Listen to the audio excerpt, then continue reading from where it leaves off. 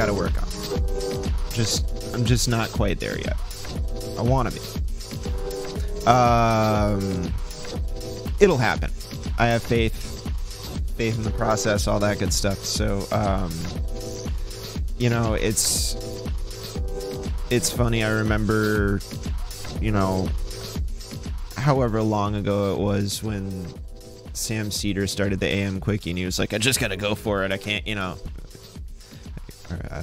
I should do the Michael voice or not, but at any rate, um, he was just kind of like talking about figuring it out as he goes along, and um, I think that's very much so the way this this is. Uh, folks, maybe you know, for anybody who's a, a regular viewer, you will notice that I've kind of trying to spruce things up a little bit um, with the channel and the way everything looks. But uh, yeah, so hmm, it's been uh, it's been a wacky week uh, on a local end. We didn't have the select board meeting yesterday because of technical concerns, I guess.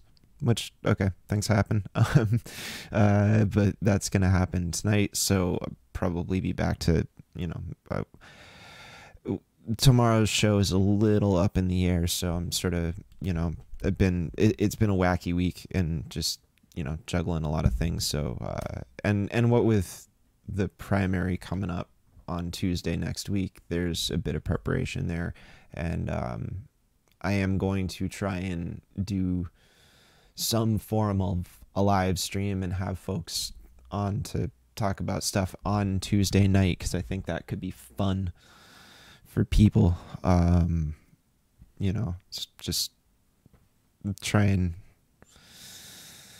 have a drink or two and get our way through it. Um, because it's gonna be a mess. Uh, unless you're sober, in which case, please stay dry. Um, right. So today, a cool thing that's going on. I was able to sit down with Tony Labranche yesterday. Uh, he's from Amherst, and so I'm gonna play that interview right now. And then when that's over, I'm gonna come back and I'm just gonna kind of go off on the the Democratic debate a little bit because I think it's funny and I think there's stuff worth talking about because um, uh, spoiler alert, Andru Volinsky killed it, uh, at least in my opinion. So I'll talk about that a bit. But um, but first, we're going to get to this interview with Tony. So uh, be right back and enjoy.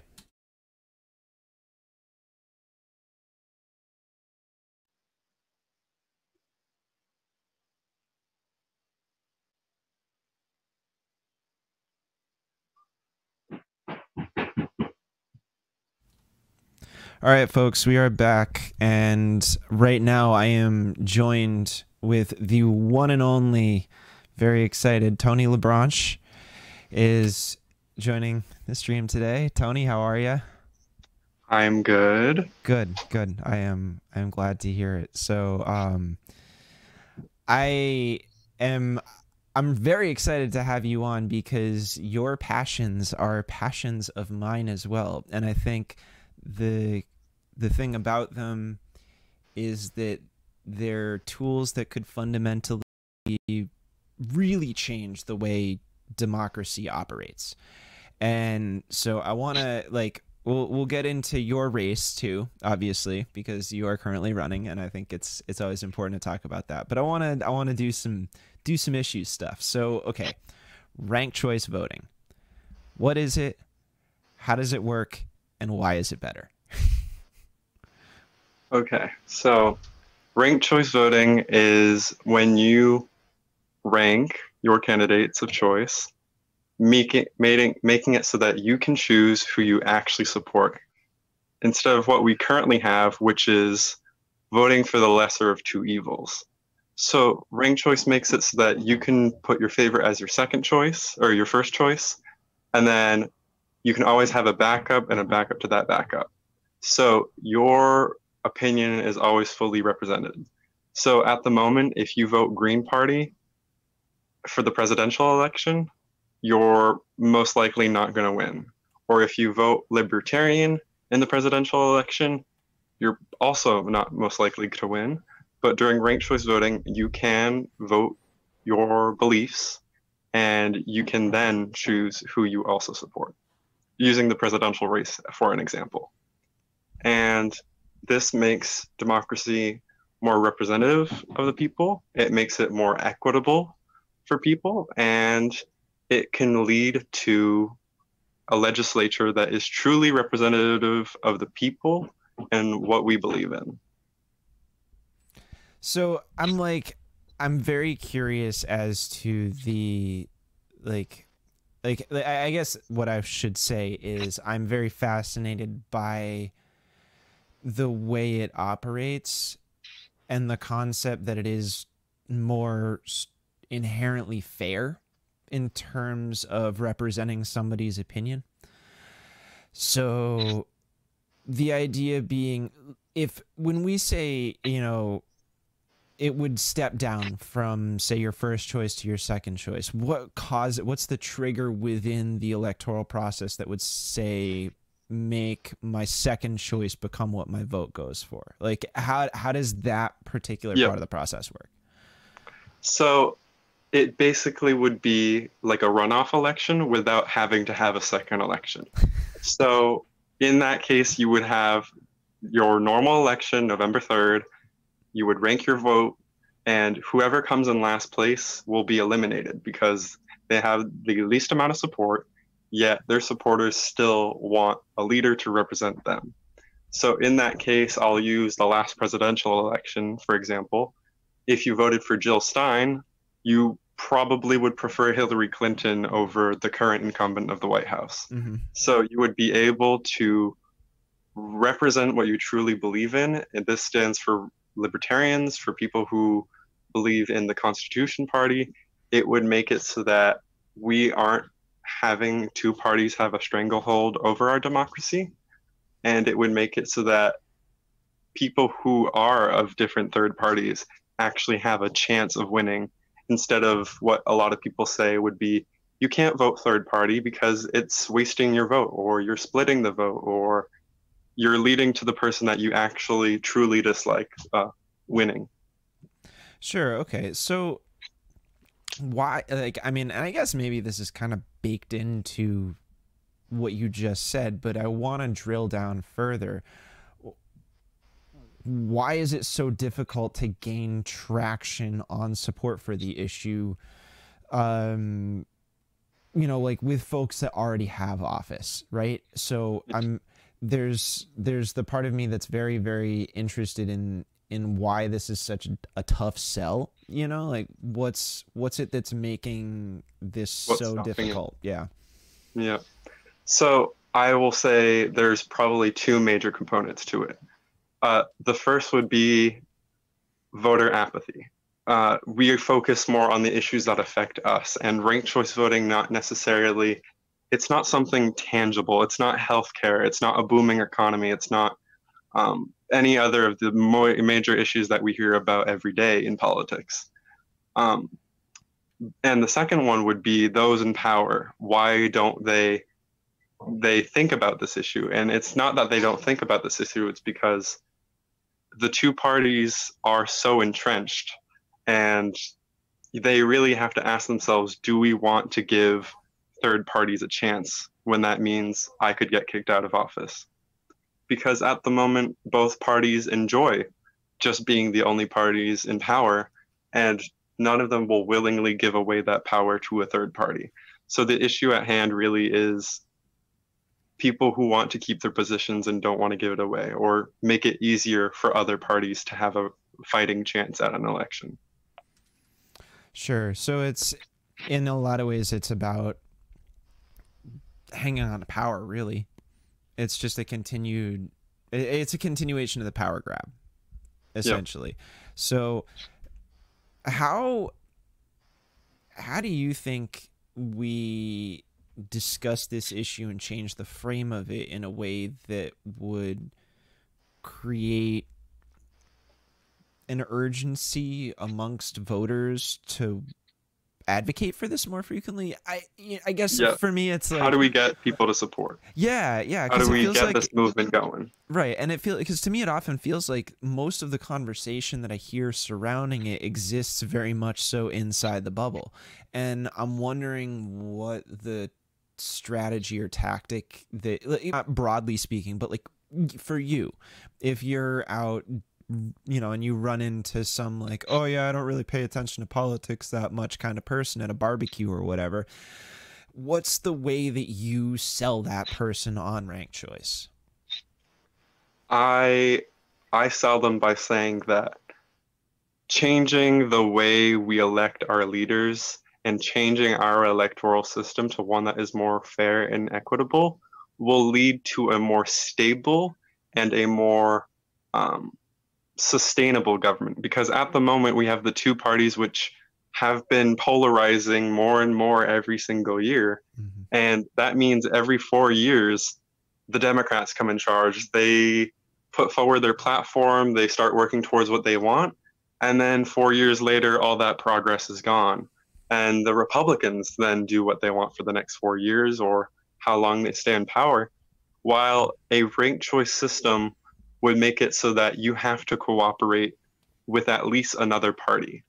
So whether that would be the, the Republicans cooperating with the Libertarians or Democrats cooperating with them or any other third party that might come to power, Mhm. it means that there is more continuity every four years. It's not a pendulum that swings. Uh, Right. so I would say that it makes it so that progress is sustained. For example, such as in Germany, they have a um, proportional representation system, and because of that, no party ever reaches a majority of 51%. Okay. So they always have to talk to a third party. Sure. They always have to cooperate and compromise, and that is why they are able to have the social programs they have. That's why they are able to prog- progress like they have. Mhm. Um, while in the U.S., it's always like we have to rebuild every four years and start from scratch. Right. So- Right. Well, and it's yeah, I mean, I guess that's not entirely out of line with the way that we do stuff anyways. Uh you know, temporary infrastructure designed to crumble after a certain amount of time that's to be replaced because ostensibly that creates more jobs even though I we could get into that. Um but it's I think the thing about it is that I'm very intrigued by the discussion surrounding reforming democratic processes themselves. Like people say they you know it's like oh i really love democracy democracy. It's like okay what kind of democracy are you talking about? You know that's because um there's a lot of ways that that can take form. And i think the discussions that you're approaching by bringing this up with folks something you know like by paying attention to ranked choice um, or questioning other functions of the government which I'll, I'll get into with the next question but um, it seems like by doing that we're trying to elevate the general discussion around how things function how they operate so that we can actually have a like not a downgraded democracy like we we like we lost our democratic like full democracy status Yeah, um which is pretty tragic and you know campaign finance reform is a huge component of it i feel like too it's because You know. we're the only country that is a democracy that allows corporations to be people. Right, right. Which, in a lot of ways, doesn't make sense. Um, you know, if you want to get real, like, you know, if if you want to get real, like Marxist theory about it, it's um, it replace like like the idea of a company being treated like a person is it, it creates an equivalence that no no individual worker or worker or nor, no individual person has the ability to compete with a corporation right like Yeah. somebody can have independent wealth sitting at the top of it but that one person isn't necessarily like they're serving a much bigger system um So it's like along with that, right? It's like, okay, we could do campaign finance reform, but we'd still be stuck with the choosing the lesser of two evils thing. And your point is essentially that ranked choice solves that problem, if if I'm not mistaken. It's it's a stepping stone in other reforms that I would advocate for at one point. So Sure. Okay. Cool. there's like I said, the German model of mixed mm-hmm. member proportional. You can get into like the whole electoral theory of it all, but ranked choice voting is a good place to start. All right. Cool. Yeah. Well, I mean, okay. So in that vein, right? If we're talking about electoral reform, um, you had brought something up that I thought is uh, like I've thought about this before. I've heard other people bring it up. I think it's an interesting discussion topic, um, and that's uh, the idea of abolishing the Senate. Um, Yes. which like you know i is it, we're just we're just going for gold here um so like first off why? And second you know like it, like i i generally agree with it but i want to i, I want to sort of put it to you to explain the position because i think you'll probably have a good i think you'll probably have a good take on it. Um but also and then sort of supplementary to that is reform or abolish. Yeah. So I'll start by saying the U.S. Senate is okay for now, but the New Hampshire Senate. Um, so we have a Senate at the federal level because it was a compromise. You have the House of Representatives that represents the people. It's called the People's House, and the Senate, which represents the states. And this was a compromise between the big states and the little states. And this makes sense under a federal government. But we have a Senate here in New Hampshire but we aren't a big state. We don't have, we're not a federal, federalized state. Um, there's not, yes, there are differences in our state, but they're not that big that we would require a Senate that represents them. And the thing about New Hampshire's Senate is that, at least at the federal level, it represents the states, a smaller form of government below it. But here in New Hampshire, the Senate is simply just bigger districts that represent people, but we already have the New Hampshire State House that represents the people. And the issue with the New Hampshire Senate is that it's been gerrymandered, it's it's been manipulated in a way to draw the maps to the politicians' favors.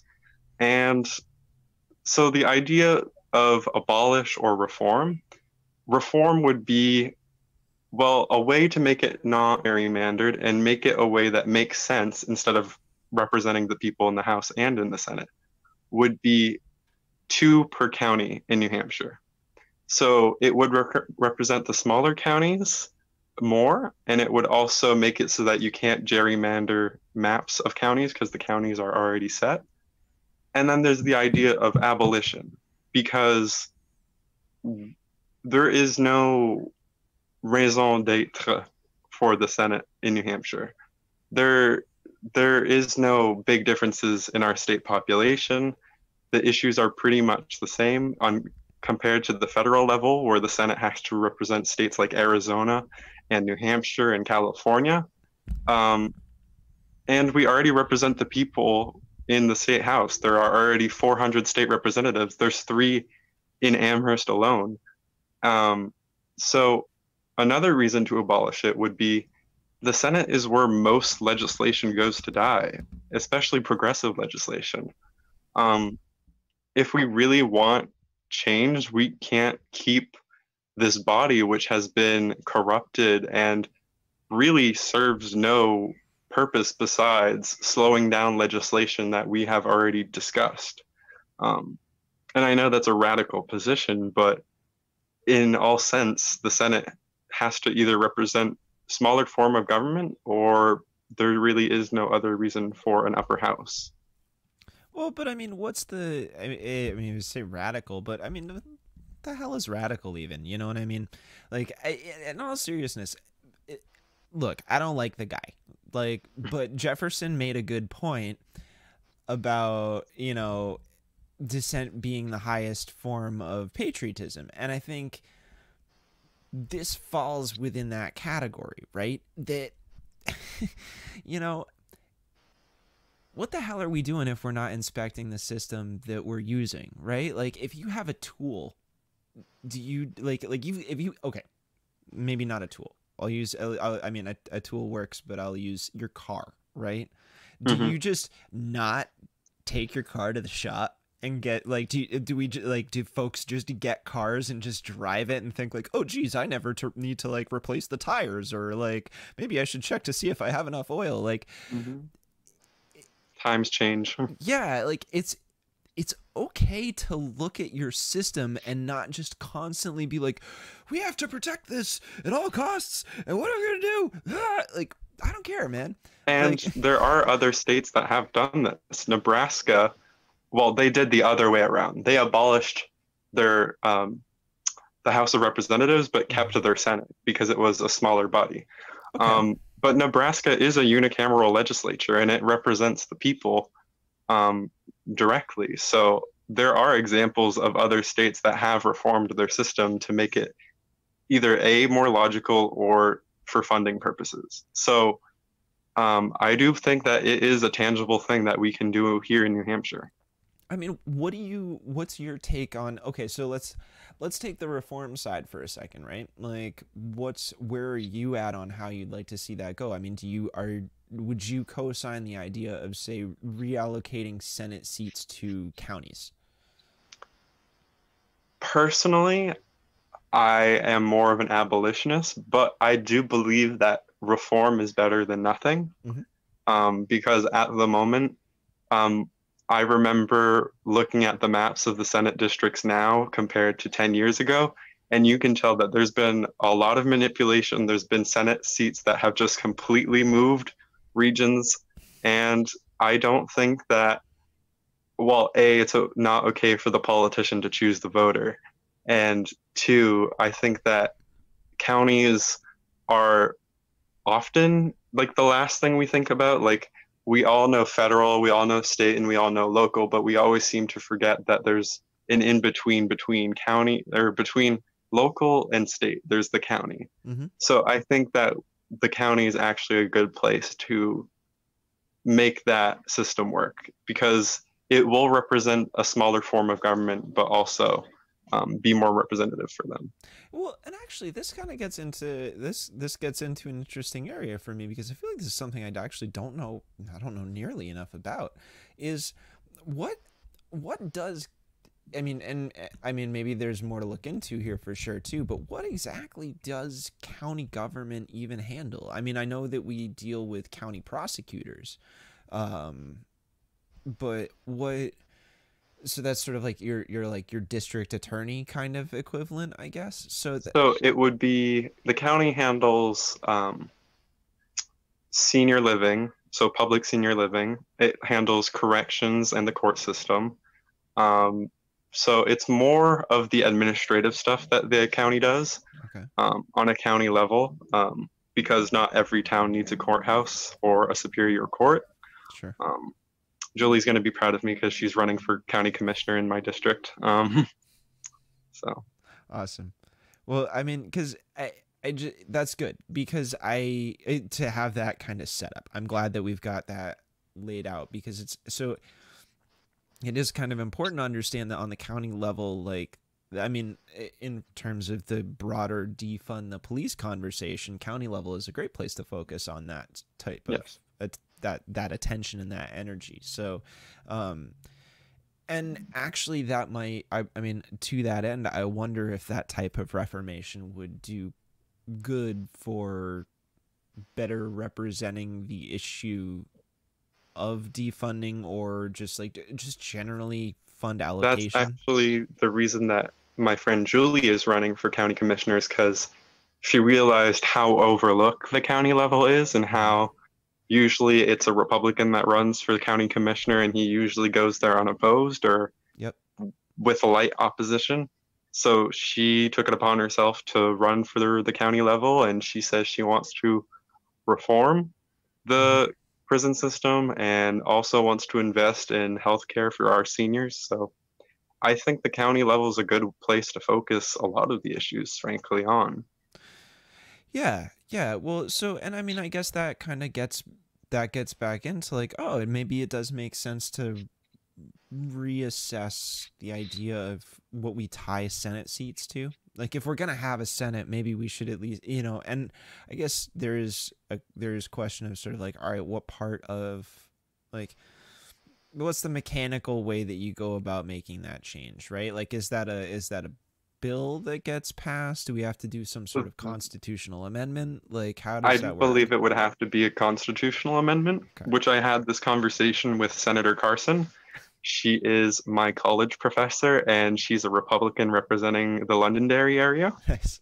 and she strongly disagrees with the idea of abolishing the Senate. Um, obviously, as a senator, she doesn't want to lose her job. right But um, I think that if the people, if we make this an issue that people are aware of, and how it makes more sense to make it closer to the people at a county level instead of having Senate districts that can go from the south of New Hampshire to central New Hampshire. Also, sorry about that. Um, no worries I think that people would be more invested in a Senate that is closer to them. yeah i agree completely i, I i'm i'm with you 100 on it man like i yeah just no complaints from me. But that's a good example though right? Like of when you get into the the the weeds of it all right? Like there's we I think that the thing to remember is this is a small state. Like new hampshire is a very small state and we are very subject to small rural america dynamics and that includes the same kind of like um you know like it's i think maybe and i don't i'm not i'm not out here suggesting anybody is corrupt but the point my point is that um it is very easy to encounter like corruption by default in smaller local governments because it's much easier to have that like oh hey this is my buddy phil and i'm gonna try and help him get a job kind of thing and it's like not overt but there's a certain amount of like career preservation or career advancement that's occurring that i think we all kind of like it's it's only more recently that I think, especially in younger generations, people are like, wait a minute, that's a continuation of a power dynamic that's really unhealthy. Um, as you know, as opposed to just being like, oh, this is a function of how politics in the state work, right? Where it's like, well, oh, well, I'm against that because I'd lose my job. It's like, well, yeah, of course you're against it because you lose your job. But the whole point Yeah. is not like preserving your job. The point is helping the people be governed the Yeah. best, right? Like, I, or save money on this project that we no longer need or something to that ex- extent. Yeah, well, and and to me, it's like it's even a more fundamental point of like you want government to represent people accurately and equitably and fairly, and if that's the case, then it's worth looking at an institution whose the people that would preserve it are the people who are saying no i don't want to get rid of it because then i won't have a job anymore it's like it's a very like you know the system is trying to like observe itself and it's a very Yes. you know uh, cumbersome so um i mean i guess my big takeaway from talking about rank choice or you know questioning the value of the senate. When i think back on other previous conversations i've had on this channel i you know there's a long talk that i did with ivy van that i've brought up a number of times where we talk about like the issue with term limits and the fact that time sh- spaces are actually too small for folks a lot of times. Like you don't you don't have enough you're you're getting ready for an election before you even had a chance to legislate so you don't know you Yep. don't get a chance to actually show that you know what you're doing. You know what i mean? So there's an argument for like reducing the seat count and increasing the term length but then imposing term limits on a extended term length. So my thing that i hear is it's like okay the big takeaway is that we need to normalize discussing and thinking critically about how we actually go about legislating in New Hampshire and not just like not just the policy itself but the way in which we are trying to actually enact the policy. Would you say that's like a reasonable like target Yes. for folks to hit like or shoot for. like question the system we currently have and how we can actually make it better for everybody or Yeah. more equitable for all parties involved. Yeah. And it's like and hey, if you're it's it's like if you know any of your fight the system friends and they like to say fight the system, get them to say this stuff instead because it's more productive. That would be like like like don't just say fight the system. Tell us how we're going to fight the system by replacing it with something better. So, um that's that's usually my like thought that I have on that. I feel free to disagree with it, but um at any rate, I do want to ask you about your primary and how just like how is that going? What's it like doing this in the time of coronavirus? What it's like what is it like being a younger person running in in Hillsborough and Amherst and this is you know it's just it's this is an interesting part of the state to be doing that in. So I'd just love to hear your like thoughts, feelings, experiences on it. It's definitely a very weird time to be holding an election and running for office. Um, I ran for school board in March, and one of the things I learned is people like to get to know you face to face, but I can't do that anymore. I can't have events, I can't meet people off the street. Um, so it's definitely harder to have that one on one human connection with somebody because it's definitely not the f- same giving them a phone call as it would be meeting them in person. Um, and not everybody's as um, as good with Zoom as uh, people who have had to do online school like I have. Um, but I've been using social media. I've been doing a few phone banks, um, but it's definitely not the optimal time to be campaigning. Yeah, no, I definitely I definitely feel that. How much how much do you feel like the, the whole digital side of things is is affecting that process? Like do you do you notice there being positive engagement in digital spaces or are you finding that like I mean, I know for for our own part here in I'm in- I'm over in Peterborough and it's like a political mess in this town right now. There's people stealing signs and yeah, it's just it's a disaster. So it's like I'm, you know, I know that Facebook can be a very treacherous place uh for you know, local political discourse. And so I mean, have you found that like like it's easy to get into fights there, but I guess I'm wondering like have you had any success stories come out of of campaigning through social media? Like any any shining examples that uh, could encourage folks? No. All right. um, that's like, that's a it's really just- legit answer. Like, it's been very hard i guess to like actually talk to voters in a positive manner mhm. like i feel like a lot of people have pent up anger like i had a few negative uh, situations happen over facebook but i feel like it's easier to talk to my fellow candidates i guess through an online format Yeah. especially when we you know i can talk to a state representative from concord or at the seacoast but not have to you know drive all the way there right. but when it comes to voter outreach, it's been uh, unusually quiet. I would say. I feel like a lot of people are also they're already dealing with the pandemic. It's already a rough time in life that a lot of people have sort of already disengaged. Like they're either supporting Donald Trump or they're on the anti Donald Trump, and there's no real like there it feels more like they're going to vote down the ballot if even they're going to fill their whole ballot out. Sure. So it's like it's I mean, I definitely get the sense that this is a tough time to be doing primary stuff period because of the like the broad like anti-Trump anybody but Trump kind of like like ah, damn it, I'm saying like too much again. Um this anybody but Trump movement stuff is really really deflating the tires in my opinion. Like we are screwed. Um in a It's like I understand that you do not like him, but would you like to get to know me as a candidate who wants to represent you? yeah. Yeah. It's you know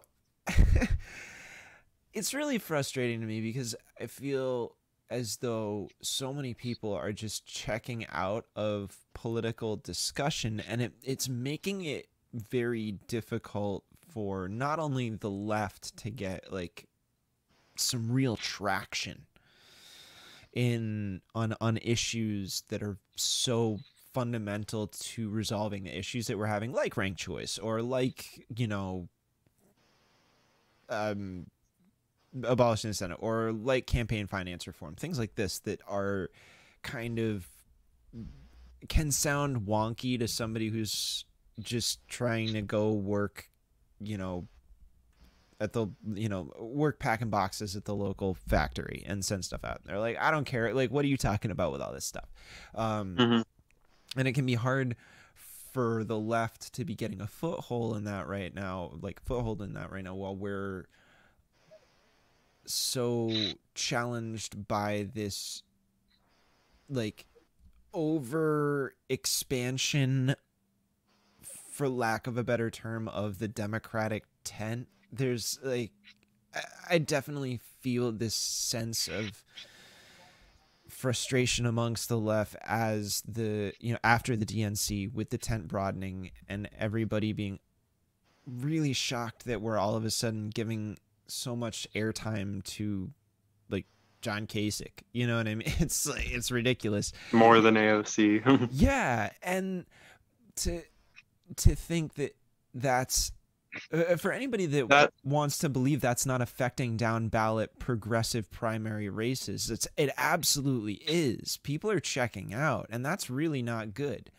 So i'm That's another thing that I believe we should talk about when it comes to ranked choice voting is that it would lead to less big tent parties and it would lead to like you could have your very specific political views expressed in a party instead of having to say I'm a Democrat because I agree with them 51% of the time compared to 49% with Republicans or anything like that. You would be able to there like if we had the perfect legislation le- legislature you would be able to have all these variety of views expressed instead of being i'm i'm either black or i'm white or like i'm left i'm right i'm like polarized yeah yeah you're taking away that dichotomy nature of it and giving it a more of a multiple choice or multiple possible outcome yeah scenario. Yeah, it's adding shades of gray or different chances. Yeah, I think that's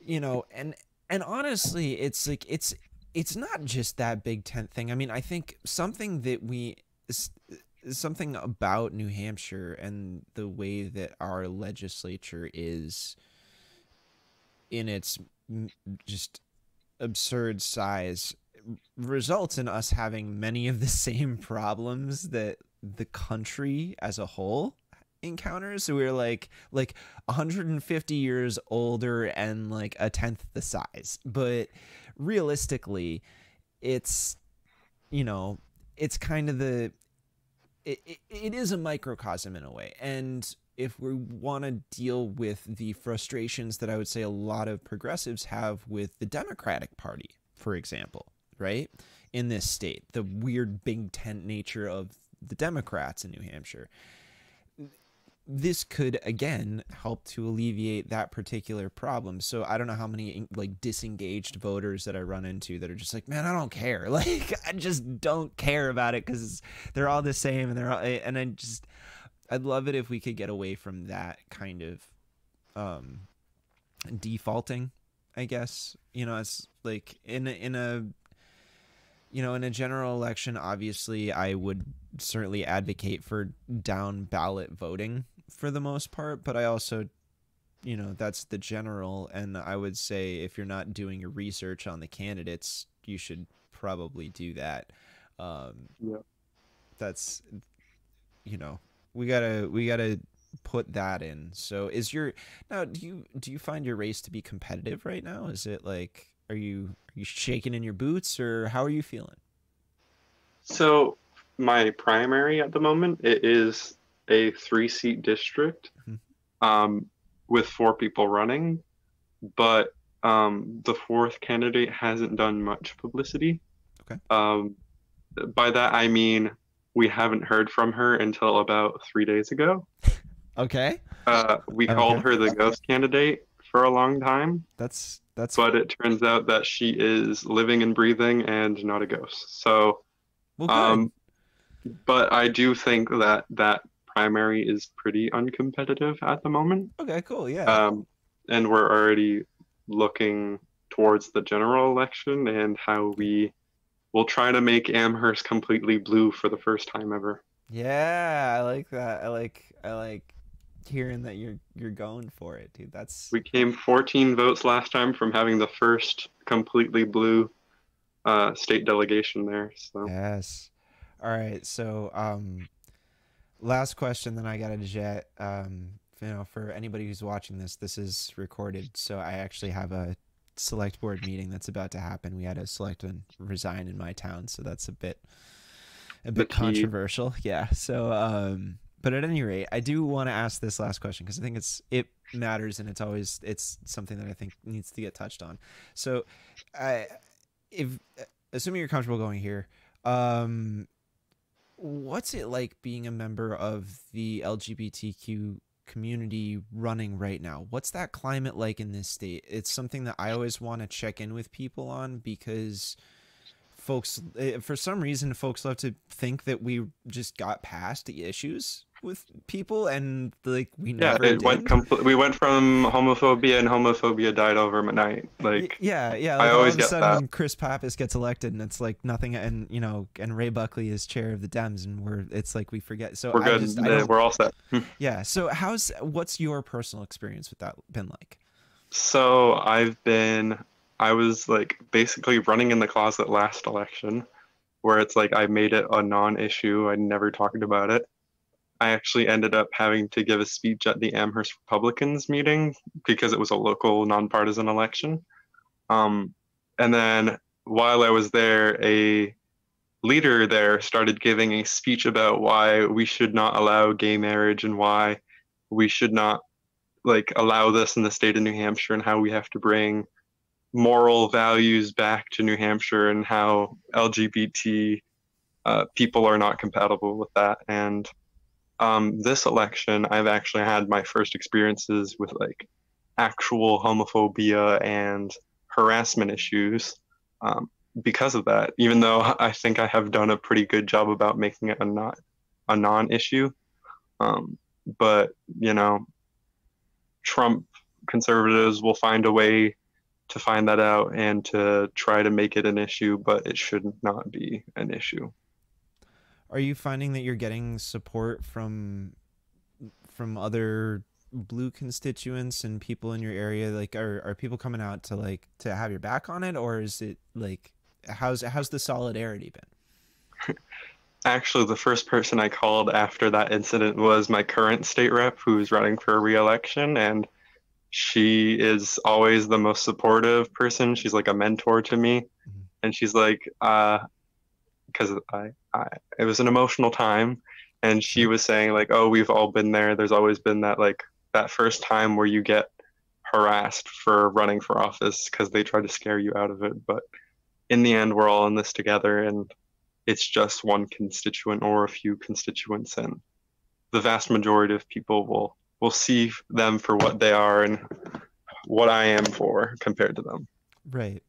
And what would you I mean, I obviously it's always the work of people who are not subject to um to hatred or bigotry or or whatever, right? It's it's always the onus is on the people that don't know to educate themselves, right? But I always want to take that time to sort of get the opinion of people who are on the receiving side of that and say, okay, like what, you know, what are your experiences? What's your check-in to let folks know like, hey, here's here's the best way at this point in time that to that that we could people who are running for office that are LGBTQ, what's the best way for folks to show solidarity like that? Beyond just, you know, like being there when like being like, yeah, you can call me if something if someone's a huge asshole to you, you know, like it's okay to hit me up and we'll like we'll just talk it through. And maybe that's all there is to it, but how like what what what kind of ways can folks meaningfully show that solidarity? Um this is going to be more speaking to the general election, but mm-hmm. I do think the other side has to do its own uh, its own enforcement of telling supporters that crossing certain lines is not okay. And I know in some places in New Hampshire where we do really have a big divide, that's never going to happen. Mm-hmm. Um, but I do think part of it is standing shoulder to shoulder. Of course, you can't do that during COVID 19, but yeah. um, solidarity and showing support for one another and showing that um, hate doesn't stop me, but it makes me stronger. So yeah, well, and it's you know I always just think like maybe you know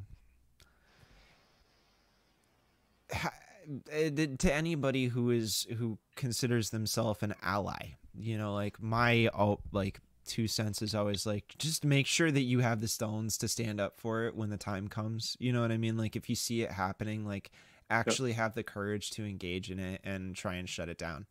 You know, that's like I think that's probably one of the biggest obstacles for a lot of people is like it's one thing to say, yeah, I don't I'm against this, right? And it's another thing to have some you know, some redneck jerk ass motherfucker screaming homophobic shit and like you know like out in the middle of the Mr. Mike's parking lot or what have you and you're like okay man like like I just want to ignore this guy and it's like yeah but if he's really genuinely threatening somebody or you know like know when it's know when it's okay to step in you know like it's yeah. the, the left gets too timid sometimes you know yeah I always hear like I'm an ally and then like weeks later when something does happen it's always they're the silent ones when you turn to them but i feel like part of it is being a vocal ally not just say i'm sitting on sitting on the sidelines type of ally because right. um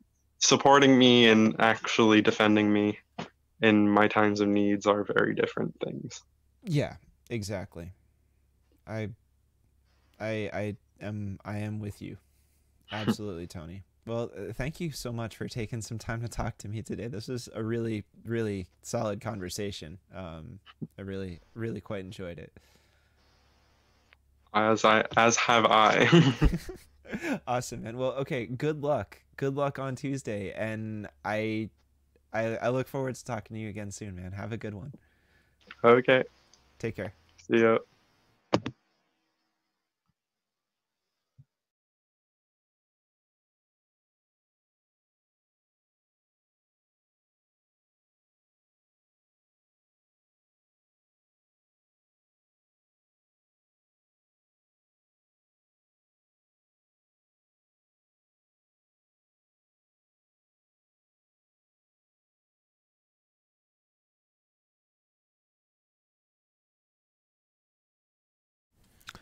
All right, folks, back.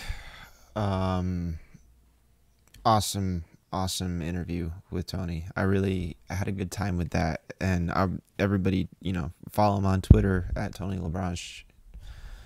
He's uh, dude's got some good ideas.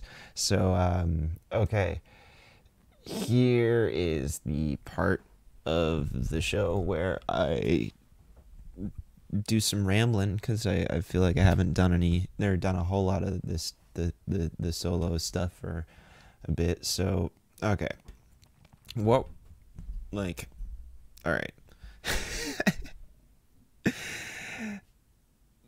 the Democratic debate.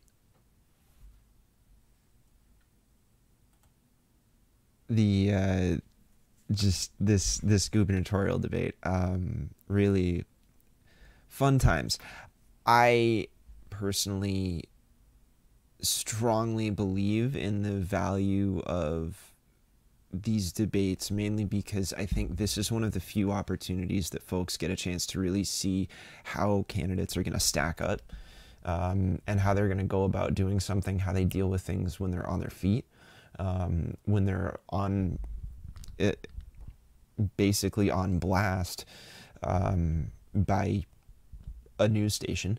Uh, you know, they, they have all eyes on them, and I think this is exactly the type of situation that shows us where folks are at in terms of their ability to lead or command a situation or take control of a narrative. It just it it's my personally like I it's my personal belief that a debate is just a really key component. I know it doesn't it doesn't always result in a actual change. It doesn't. It might not always move the needle. It kind of depends on who it is or what it is or where it is or what the context is. But I think there's a lot of importance in understanding that WMUR, where this debate is hosted, is the only the only private news station in the state like this. They're the only, you know, aside from say a public access station, um, the they're that's it. WMUR really has the whole thing kind of monopolized. And um, there is a piece on the Patreon if uh, for folks if you want to get in there and check it out uh, about um, why local news is important. Uh, it talks a bit about kind of the the history of WMUR and and where they come from and who William Randolph Hearst was. Um, so there's there's context there, but you know, I think it's important to understand that because even within this debate, there was a whole lot of incredibly conservative framing of certain questions um, when it came to asking about asking both candidates, frankly, about whether or not they had eaten out at a restaurant, whether they um, you know why they felt it was okay to attend BLM rallies, but it's you know it's not okay for racetracks to open up. It's like really. Uh, it can be it's it's a totally separate discussion to discuss the nature of why the questions that they ask are like lean conservative and i think that's time that's that's content for a different episode. But I, because I could burn probably an hour talking about this, and frankly, I'm hungry and it's almost lunchtime for me. So I do want to just kind of like hop into some of the actual content here because I think this is like mainly uh, mainly what I'm going to focus on are two parts of the debate because I think that generally speaking you find that there's there's a, a lot of time where they're agreeing with each other. Um, and what I want to hone in on is some specific differences, and mainly it comes down to approach. Um, and it comes down to responsibility. And I mean, I said at the top of this show that I think Andru absolutely killed it. And I think I, what I'm going to do is we're, we're going to take out some clips and we're going to talk about exactly why that's the case. Um, so, first up, I have um, this one's funny because it's it's from a lightning round and it gets into a whole topic of discussion that I don't think they meant to get into and the whole lightning round gets gets derailed which is a riot. So this I'm going to I'm going to hit play on this and we'll we'll we'll watch this and I'll just sort of talk about it afterwards. So here we go.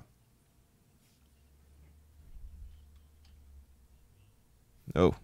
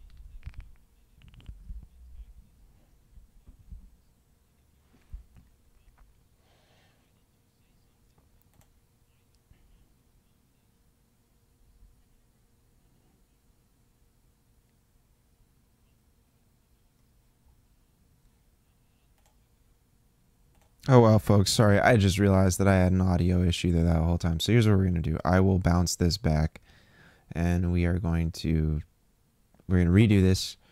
Um, sorry about that technical issue, and sorry about all that dead space.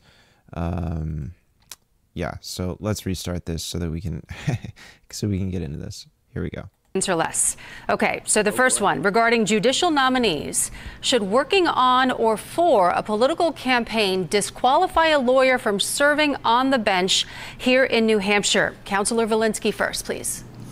Should not disqualify the lawyer, but it's appropriate to ask what the platforms were. That's the problem with Gordon MacDonald's nomination. He twice worked for political parties that denied the right to reproductive freedom and that's disqualifying. Senator. Well, Andru lifts up his blocking of Gordon MacDonald as the alleged third anti choice justice on the New Hampshire Supreme Court, five member court. Well, if that's the case, I guess the question for Andru is why did he vote for the first two? I'm happy to answer that if I'm permitted. Please, they, please. They didn't they didn't have documented records of antagonism towards reproductive rights. And if you were so concerned about the first two, why didn't you say something d- during either of their nomination processes? Senator, uh, respond to that, please, and then we'll move on. Well, uh, because um, I- am not on the executive council, and I think the questions need to come from Andru, uh, the executive council, and he voted. Okay, so like like this is really funny because Dan's just trying to turn this around, but he's Andru's actually answered the question. He's he's fundamentally answered the question right here that they didn't have they didn't have birth control rights issues and he can't be discriminatory. So I just we're I'm gonna let this go again because this is really like this is just priceless, folks. but For the first two, uh, so I don't think we've heard an explanation about why he voted for them. I thought they were qualified, and I don't disqualify candidates just because they're Republicans. I look at their documented record, and there was no documented record of antagonism towards reproductive rights, as there was with Gordon MacDonald. And if you think I missed something, you had the responsibility to point it out in time rather than to take shots during a debate. Senator. so that the face there, Lindsay.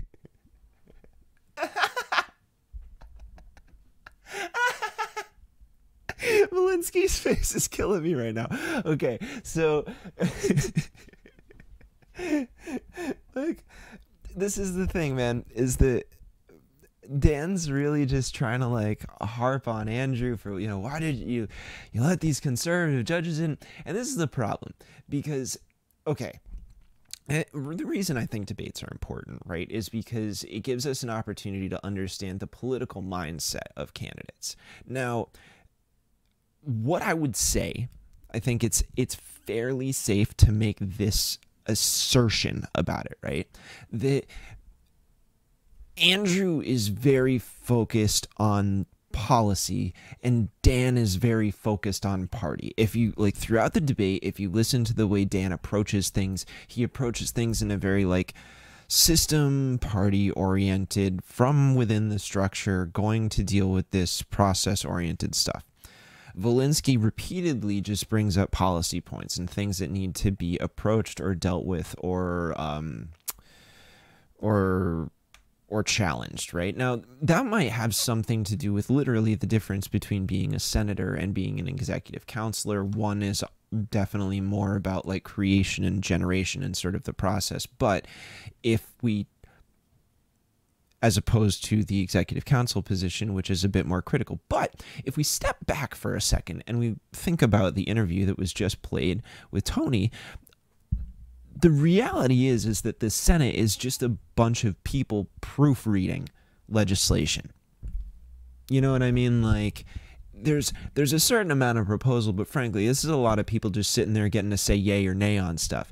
And Volinsky's point is that in the entire nomination process, Feltes could have easily weighed in. So while Dan is attacking Andru for allowing these conservative people to join the court, which you know what, like partisanship is not uh, is not in of itself a simple reason to deny someone's appointment. And if we think about this, it's actually the, Volinsky basically did that exact thing when, it, like, more or less, when it came to a, a more recent education post that triggered an entire um, backlash response within the context of BLM, which was reasonable. And Andru owned up to it. But the point is that the second you do that, right, you lose your progressive bona fides because you're you're immediately just you're you're doing the same politicization that's pissing everybody off. So Dan's just perpetuating that within this context. There's no there's no like self-reflection upon it right? And andru is doing exactly the right thing by just taking it and turning it right around and saying like yeah okay look like i can't do that. These people didn't have any record of being against abortion rights or you know reproductive rights broadly speaking. Um, conservative though they may have been i wasn't able to make that assertion based off of their their history. Um, so that's it. It, it. There's there's the fact of the matter, and his point is great. That if Dan really objected to this, he could have done it during the process. And where is he at? So Andru puts that puts that back on Dan, and I think what's so funny is that he doesn't actually have an answer for it right here. He just kind of slips right through it. We'll keep going. Twitter, please respond. Well, you know, look, I, I think it's clear. Uh, Andru has campaigned on his blocking of Gordon MacDonald as the alleged third anti choice justice of a five member court. And the first two he voted for. So he's basing much of his campaign on this. So I, I don't think he's answered the question about why he voted for the first two. I, the first. So, I mean, like he did, though. And this is this is why I say watch the debates because from a purely debate tactic right now, Feltes looks real bad. Like, that was a really, really foolish way to respond to that. Because he just doubled down on a take that he had earlier that got crushed. So, like, uh, and and maybe that's just maybe he's not great at debating, but frankly, I don't want that right? As a voter, I don't want somebody who can't think on their feet enough to know that you shouldn't repeat that point after you've been slammed on it. Like, repeating a falsehood doesn't suddenly make it true. Okay? Volinsky answered that question outright. And Dan's just not he, he he's he's fundamentally not accepting it. And that's I think that might be something that I want folks on the left to really, really like think about that. Okay, think about that good and and and and, and hard because, um.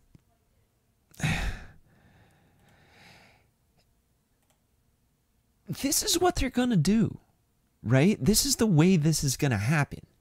Is that we have to deal with the center eh, claiming progressive bona fides, which they state at the very opening of this. Now, I'm not saying Dan's not progressive at moments. I'm certainly is. He has his he has his his spots about it, but in comparison to Volinsky, it's just not really a contest at this moment in time. I just don't I don't see that um, being the case, and they're going to try and take that progressive mantle, and then they're going to make arguments like this and part of the reason I'm doing this is because I want to have another voice out here that points out just how like just how hard Andru wrecked Dan on this. Folks need to understand just how bad that was. Like It's really, really bad. So uh, I'll, I'll, I'll roll on a little bit more. I think I lost my place a little bit, so we might end up rewatching some of this. Um, but I just want to, I just want to kind of double back on it. Just watch it a little bit more because this is just, this is really silly. Of Gordon MacDonald as the alleged third anti choice justice of a five member court. And the first two he voted for. So he's basing much of his campaign on this. So I don't think he's answered the question about why he voted for the first two. I, the first two were not anti-choice.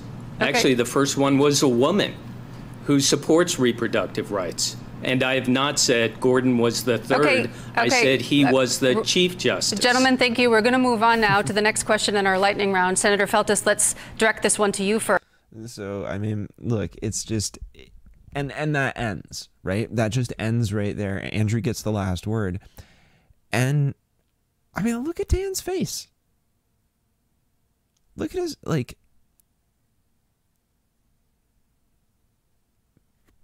That's that was that was a a, a an attack that really just fell flat. Like that was a super super flat fall and it didn't it it honestly like it was an attack on on Andru and the only thing that it really did was make Dan look like he doesn't know how to how to handle himself in a debate that he's and and what I think is so funny is that he constantly talks about how you know oh well our campaign isn't trying to tear people down. I mean like don't I you're in a debate, dude, and you're literally doing that exact thing. Like I'm sorry. A, a race is about beating your opponent. It's what it is. Like you're gonna have to make attacks um, in the process of proving that you're better on an issue than somebody else. And what Dan does throughout this entire debate is repeatedly attack Andru and then say, well, we're not about trying to tear people down. But what is he trying to do here? He's trying to tear down Andru's record as a prosecutor. He's constantly trying to make this comparison. So it's kind of like it's it's again a little bit more this speaking out of both sides of the mouth thing, which is a super hallmark of New Hampshire centrists, not New Hampshire progressives. Or it is if you misidentify what progressive means in this context. And I think we have a fraught experience with that word in this state. I think it's a challenge for us sometimes. I think people don't necessarily have a very rigid idea of what progressive means. So everybody's in a different place on it. I think it's a challenging word sometimes. I think it's a little nebulous. I am fine with nebulousness. I think that's okay. Um, but I think it means that we need to be more careful about how we delineate what um, what that spectrum itself looks like. So, um, right, okay. Uh, I want to move on to the um, I want to move on to the tax portion of this because I think this is this is the other part that I really like. I enjoyed quite a bit. Again, I got to stop saying like so much. This is the worst, folks. I am so sorry. One of these days I'll get better. I promise. One of these days. Um, until then, let's check out this clip. Uh, you have said, of course, that you do not support a broad-based income or sales tax. Uh, Councillor Volinsky, you've of course not made that pledge prominently, and you said you might be open to such a tax, either one or both, or we're not sure. So let's direct this question to you. What specifically, now that's a week before the primary, will you propose to relieve the property tax burden on those who need it the most? So the premise of your question is that we can live with the property tax. We can't. It's got a crushing burden. It's immoral. It forces seniors to ration their medication so that they can pay their taxes to stay in their homes. It keeps us from building affordable housing that young people and working people need. It help, it hurts us in developing small businesses that also create jobs because in broad swaths of our state we cannot open businesses because of the tax burden. The property tax is New Hampshire's broadest based tax. It's unfair and it's immoral. So I would say this. About a week ago, experts before the School Funding Commission said two things. One, we spend about the right amount of money, 3.2 billion, and two, we can solve the school funding problem constitutionally without an income or sales tax relying on a fair statewide property tax. Okay, hold on. I'm going to I am going to jump in here for a moment because I want to make I want to kind of make a distinction on this before we jump in, right? So, Volinsky is actually saying two different things right here. And I think it it it, it goes a little over Dan's head. Um so on the one hand, Andru is saying that the property tax in of itself is not uh, is not fair and it's not equitable and it stands in our way, which is just true. Like that's just a true statement. It's a regressive tax. Um, it's based off of a time when the amount of land you own directly related to how much money you make. There was a one there was there was a core like a, a straight up correlation that was reliable. We don't live in that time anymore. Not everybody is a farmer. Um, the world changed. Sorry. So uh, in that sense uh, from that perspective Volinsky's absolutely right the, the property tax is horrible and what he then goes on to explain is that there's a new new data that has come out that has been you know um, it essentially and I'll, I will I will see if I can get it pulled up here while I'm talking about it. But um, in many ways, it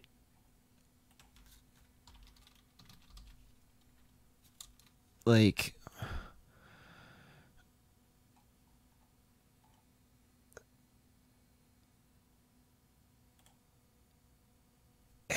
okay, so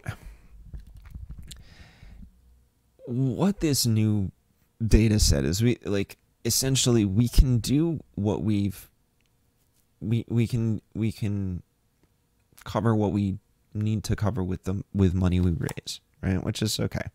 Um it's possible to do it what it requires is it requires a certain redistribution um effective redistribution of the burden itself right? So the idea is that um, you know each town makes up a certain percentage of um,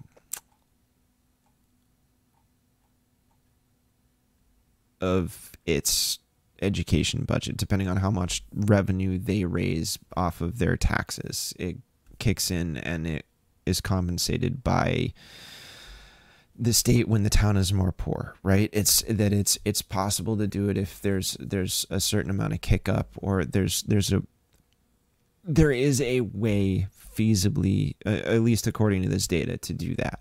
And Volinsky is citing that and basically citing, yeah, look, it's it, like if you rejigger it a bit the way you know what we have, um, it's entirely possible to make this work. Um, and so I just, he, in this instance, that's not an argument necessarily for a property tax, but just simply an argument that there's steps of gradation within this this broader discussion and not taking the pledge just doesn't put a cap on it. You know what I mean? At the same time, it's it's he's still offering a way to work within the felt the the framework that Feltes is kind of insisting upon, but it, it but then gets criticized for it. So I'm gonna just gonna hop back to this clip. We're gonna watch this some more. And, uh, Senator Feltes, uh, you've said you would close tax loopholes uh, to try to relieve the property tax burden. Can you go into detail about that? How you, which ones you would close, and how much that would raise to relieve property taxes? Sure. Thank you, John. Uh, in New Hampshire, roughly 50% of businesses and corporations that are based in New Hampshire or sell into New Hampshire a product or service pay even a cent in our corporate tax code. In the last budget securing over 200 million in new support for our communities, including securing 140 million in new public school education funding, the biggest public school education budget in state history, finally doing full day kindergarten, the biggest increase in 20 years. We closed loopholes for corporations in the system, including corporations like Netflix, who clearly had a business relationship with the state of New Hampshire selling a product or service into the state of New Hampshire. There are a lot more of those loopholes to close. Uh, and I don't support a broad-based income tax. Uh, last night at a, at a forum, uh, Andru said he would sign a budget with a broad-based income tax in it. And I disagree with Andru. I don't think we spend the right amount on schools. I think the state should step up and spend more on our schools. I think the question was how much in the loopholes would you develop? I think the, uh, well, Andru, a lot more than you're shuffling around property taxes. Actually,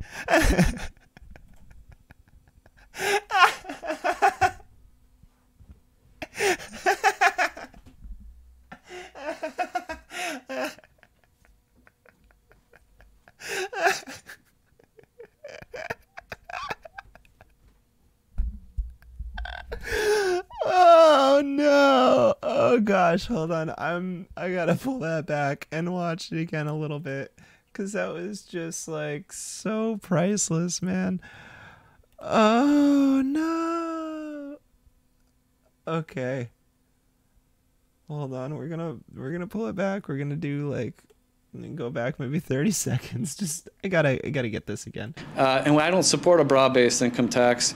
Uh, last night at a, at a forum, uh, Andru said he would sign a budget with a broad-based income tax in it. And I disagree with Andru. I don't think we spend the right amount on schools. I think the state should step up and spend more on our schools.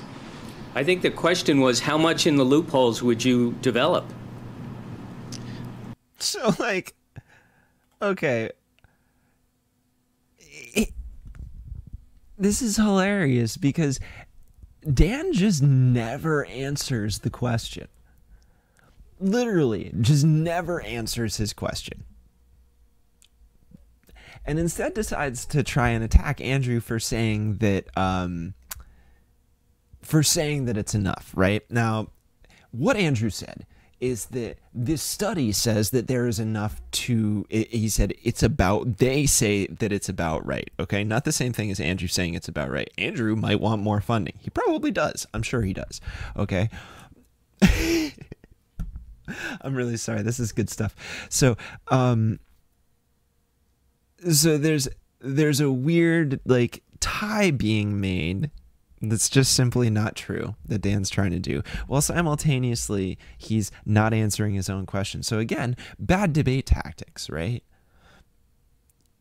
You're starting to get into dodging and trying to use a false equivalency logical fallacy to destroy your opponent's position when effectively you're just opening yourself up to more attacks. So we'll we'll get to to Volinsky's sort of like what now moment right here.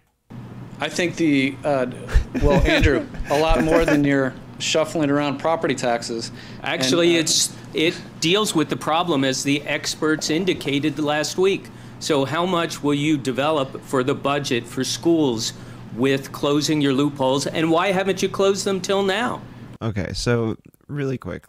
This is the this right here is the piece that they're talking about, right? This is the information. Um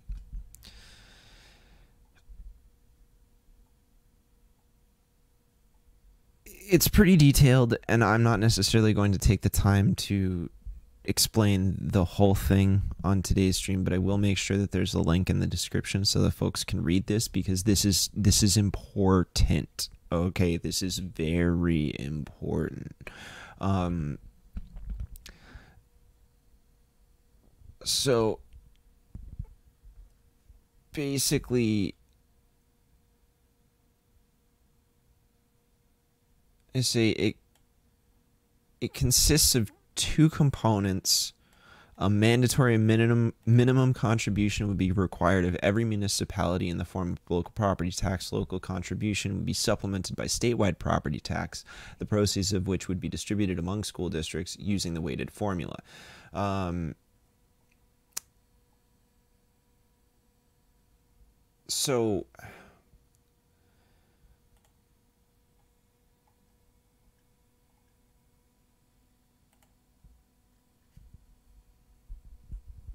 let's see here. Um, yeah, so uh,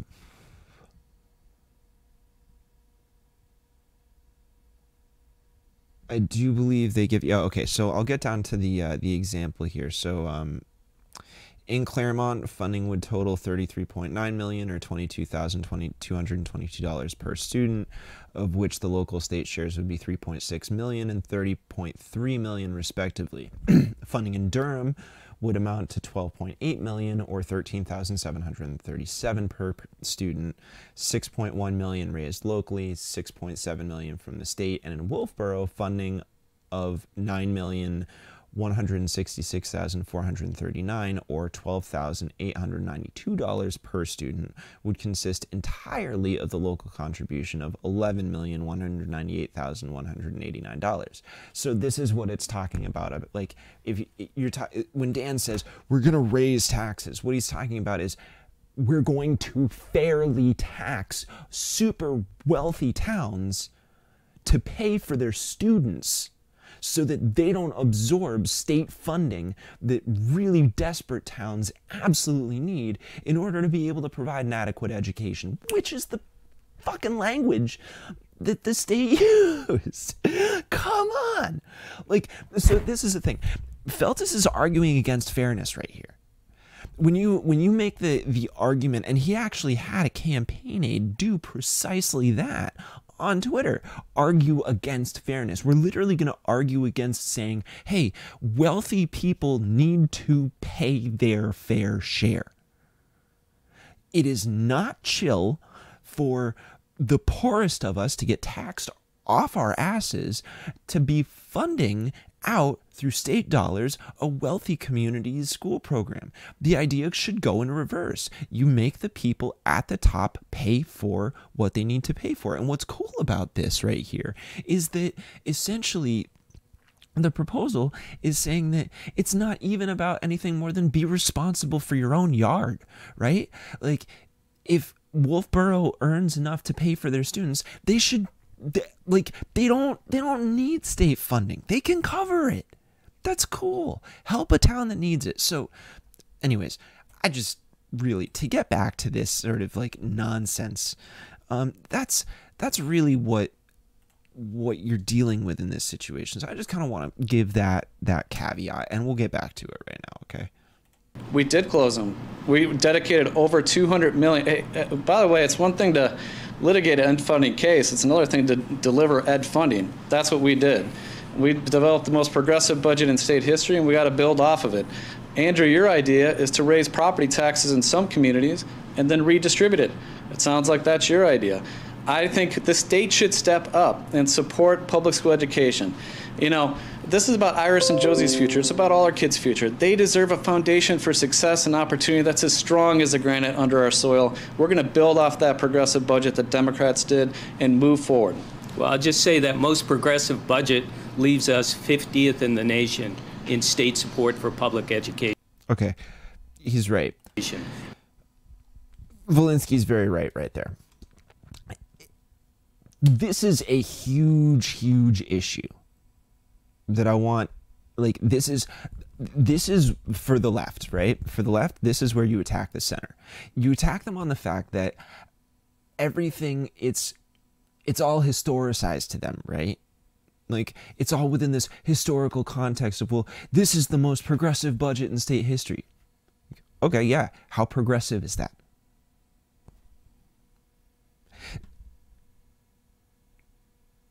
We cannot pretend that we exist in our own historical vacuum. It's just nonsense.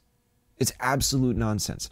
We in New Hampshire like to pretend that there's no other like like nobody else has done anything that's better than what we did. when in reality, we're stuck in the 1700s, legislatively speaking.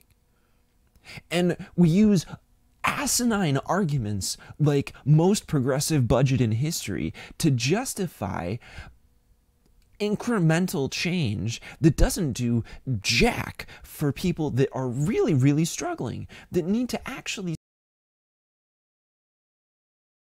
a fundamental shift in the way in which things are funded for them in their communities so that they're not struggling so hard all the time. And this is just like you want to talk about politics as usual. This is this is the politics as usual, and I think that comes up in a minute. But like, it really is just this is preposterous. Okay, that's we got to examine the absurdist framing that Democrats put forward. The, I'm, I'm sick of it. I'm, I'm so sick of it. I really appreciate that Andru just calls it out. A lot of people seem to not like I've I have heard repeatedly that he's made enemies over this. And frankly, you know what? Anybody that's feeling salty about it, I would say that maybe thicken your skin up a little bit and stop being so so concerned about what people think you. You know what I mean? Like, I'll get canceled for this this show or whatever I say. Like, people people don't even understand it. Like, you put yourself out here and you say something that really matters to folks, and most of the time, it gets twisted around a lot, and that's what's happening right there. And to really take that that hard position requires accepting the fact that people are going to misinterpret you all the time. And the most important thing to do is do exactly what Andru is doing right here. This is like, in my opinion, there's some, he's, he's leading by example and just not taking it and just not sitting on it and not letting the moderator cut it off or just, you know, like, it's important to push back on this absurd framing because because we gotta change the way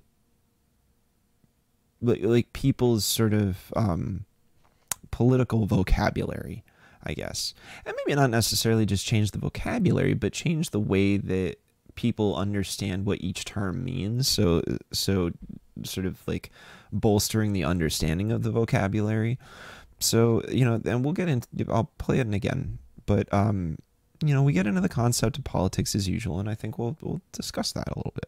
It was an improvement, but it's mostly one-time money, and it came after multiple years of cuts. So really, you were giving back money that the school district should have gotten in prior years while you were in the Senate, Dan.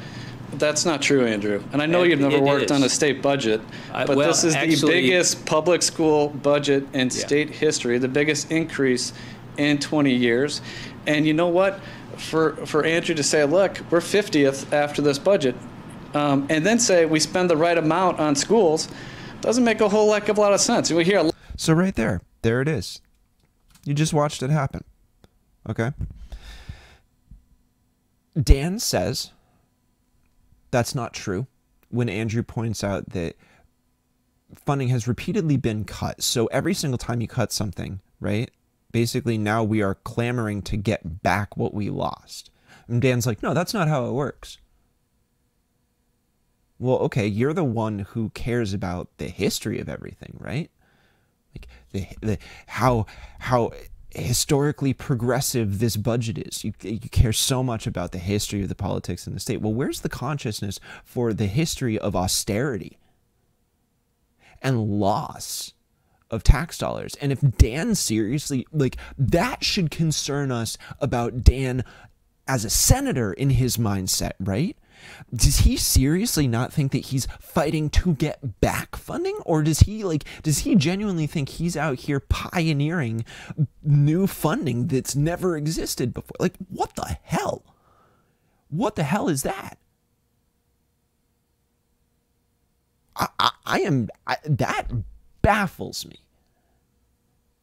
that is so confounding to me that he would not accept that frame. Like, to me, that seems like a pretty basic frame understanding for most people on the left, even to the center.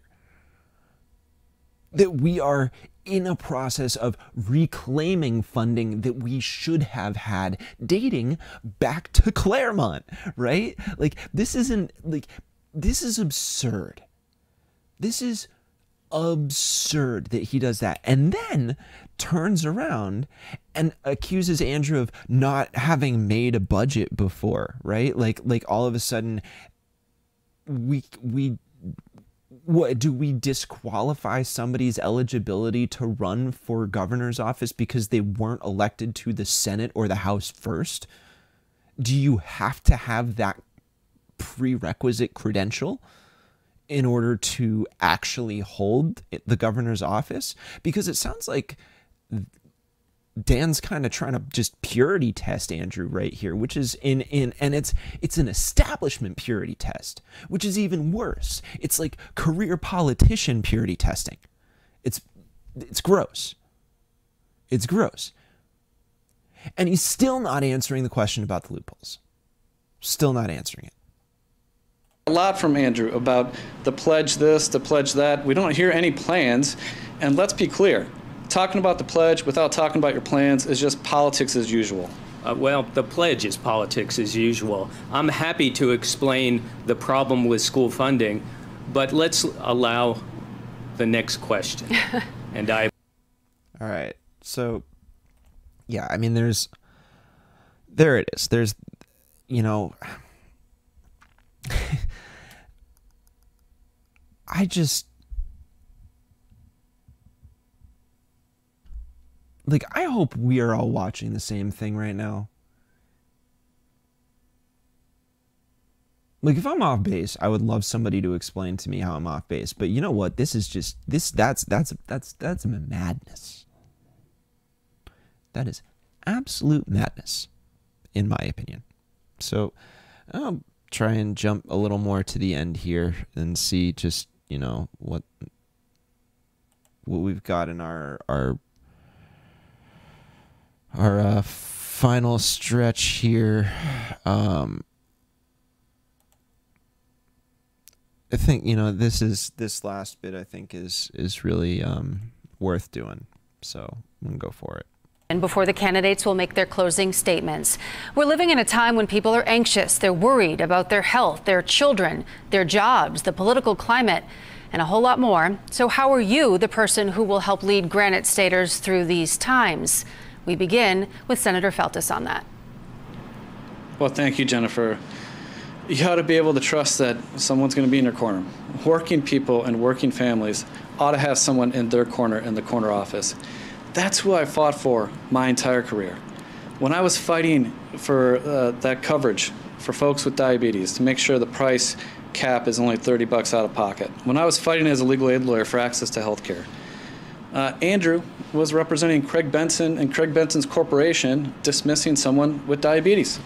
When I was fighting to protect homeowners, including Carl and Pauline, who got the home of their dreams, a modest home and then fell behind during the Great Recession with job loss. When I was representing them and helping them save their home against a Wall Street bank, Andru was on the other side in the Great Recession, representing a title company that was alleged to defraud people out of their homes. So fundamentally, this is about who you trust. I've always been on the side of working people and working families, and we need to get out of this mess in a way that works for them, Senator, not thank corporate you. Senator, interests. thank you. Councillor Volinsky, your response to the final question? Yeah, I, I, think we need to rely on people who will tell the truth no matter whether it's helpful or painful for them. Those comments about the title insurance company, the title insurance company was disciplined by the Department of Insurance for giving discounts to fellow business members of the Portsmouth Country Club. It had nothing to do with mortgages. That's just a bald faced misstatement. Look, you need people who you can trust, who show good judgment on Granite Bridge, I opposed the Granite Bridge fracked gas pipeline, and I stayed opposed to it. I haven't switched sides on that issue back and forth, back and forth. On campaign finance, I said I wouldn't take PAC money and I wouldn't take LLC money, and I've never had to return money because I didn't live up to my own standards as Dan has. It's judgment, it's honesty, it's candor. Councilor? That's who you trust. Councilor, thank you. you know, look, um, I want to show this segment, or I wanted to show this little little piece because I think it is, you know, it's important to acknowledge. Look, like I don't, you're never gonna get a perfect candidate, right? You're never gonna get exactly every single thing that you want. Okay, and realistically, we can be not necessarily happy about certain aspects of Andru's work history. But I want to, like, I really want to put this out there to y'all folks for a second, okay?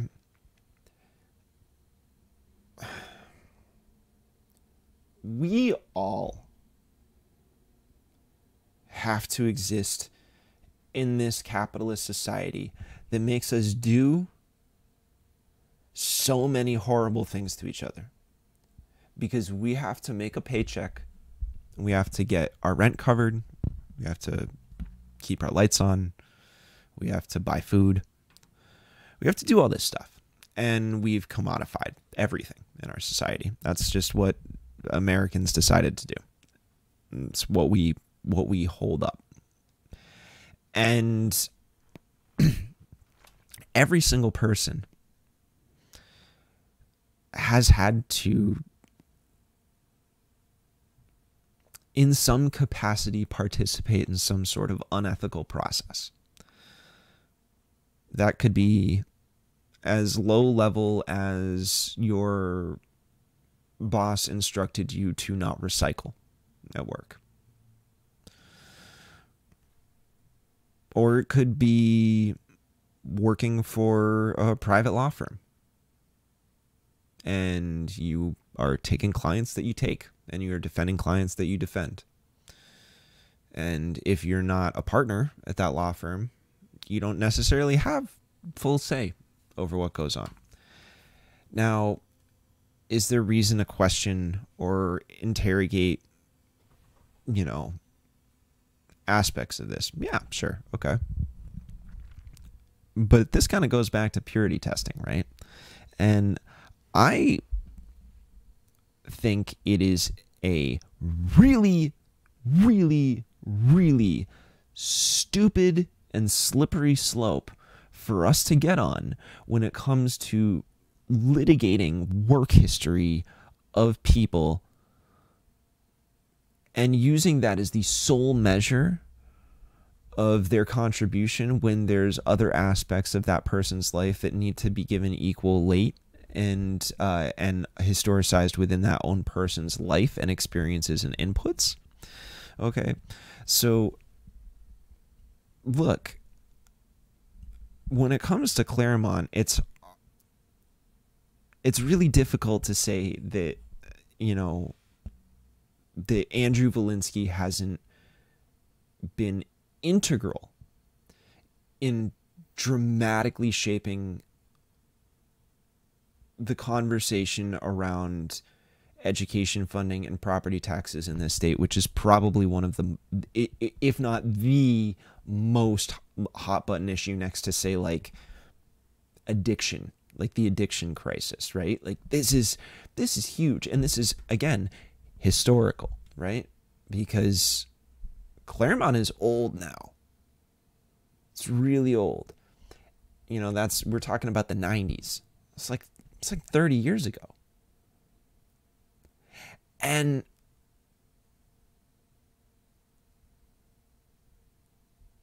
it's like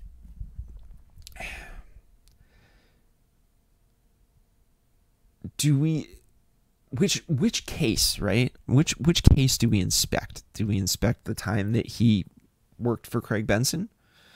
Uh one term governor who did m- miserably and is kind of a joke to a lot of people. I mean, there, there's a lot of people who still love Craig Benson, I guess, but like, he, you know, it's kind of, um, that was, I was a different, different time and a different situation against a different candidate. And there's a lot to be said for whether or not Fernald was a good candidate in that governor's race. But, um,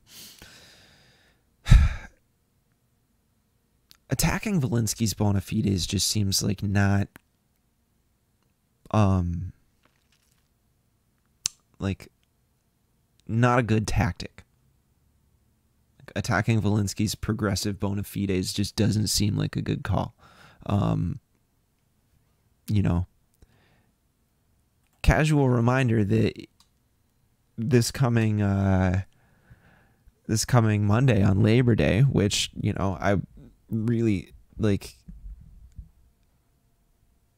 Volinsky is meeting on with you know this is a special event that Rad is hosting with Bernie Sanders, the Labor candidate who has endorsed Andru Volinsky. Now, I know that Bernie Sanders probably doesn't carry as much weight for a lot of people these days. I get it. I totally get it. Um, but the fact of the matter is, Sanders. Um, Sanders is still a really important part of this discussion. And he represents a very specific subset of the sort of democratic socialist view of reformation within the Democratic Party through revolutionary means, which I think is an interesting approach. Um, obviously, it's uh, somewhat problematic, but you know, like it's it, it's definitely important to consider that even despite um,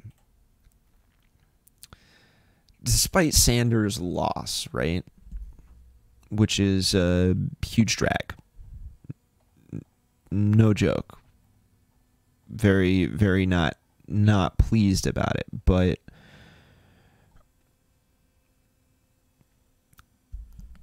it's really worth noting that Volinsky outraised Feltes last quarter. Um, more grassroots volunteers. He's not taking any PAC money. You know, I had my own certain skepticisms about whether or not Volinsky would be able to to really take the nomination this time around. And I gotta say, looking at, at, at that data right i don't like that just just those those hard numbers i mean i'm not necessarily looking at polling i'm looking at just like if i'm you know from a resources and pure positioning standpoint based off of the contents of that um, debate andru's looking a lot stronger so um progressive folks rally behind this. Tuesday is coming. It is coming. It is less than a week away now. Uh, so, just, you know, I don't know, food for thought. I definitely I definitely want to hear from folks on this this whole take. So hop into the comments on this video, let me know what you think down there reply to it on Twitter, comment on Facebook, do you know like the whole kit and caboodle because I'm gonna use all these dumb Yankee catchphrases. Um, seriously though, I, I actually want to, you know, I talked about the vulnerability of being out here and doing progressive content, and I guess you know it's like the, here's the sort of plug segment of the show because we're wrapping it up now. Um, I think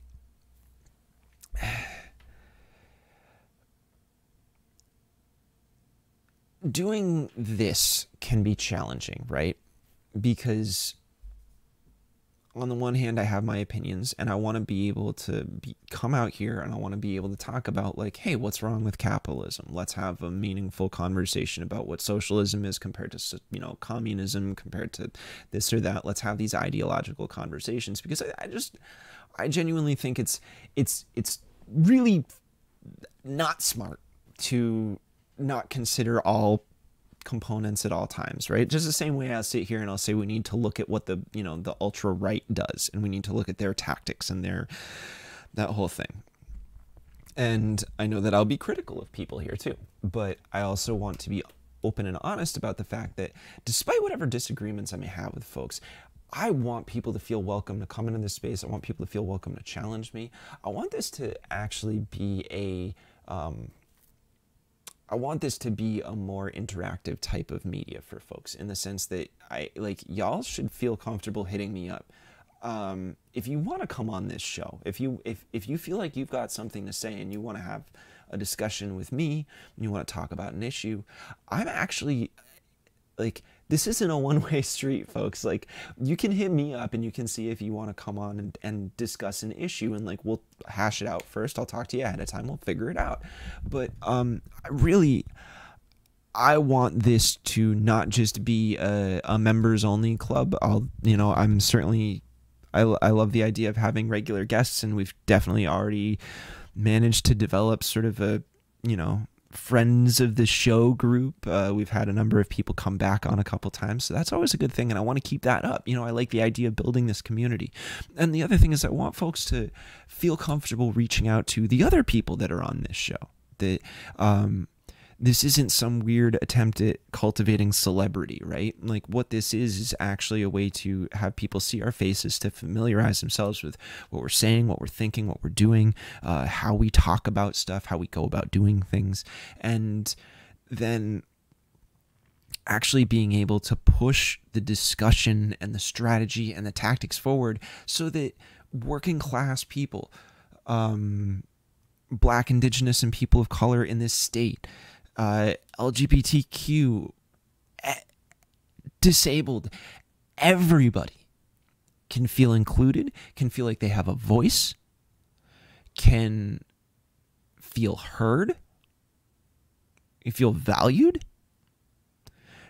That's the goal, right? That's that's the real target of the the locally sourced live stream and even the the local stream to that extent too. And that's that's also a big part of what the the target is with deep dive. And i know that jonah and i haven't done an episode in a couple weeks but we will we that trust me that's not something that's just going to get forgotten about. And i've i've been talking to other people about trying to get other content going too. And i think that stuff is really important. I think it's it's good for us to expand this and to to to widen widen the horizons as much as possible see how far we can take this and not be afraid to have challenging conversations you know like to be able to let people come on and in person give the hot take that they would give on Twitter or Facebook or whatever. Like if you've got the courage to say it in that space have the courage to come here and say it in this space.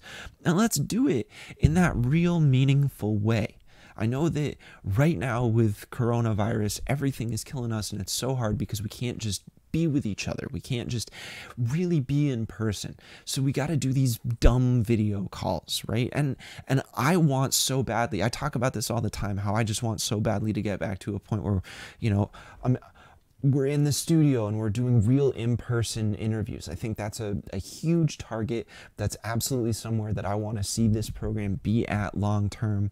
I think we can do a lot more fun stuff. But until then, you know,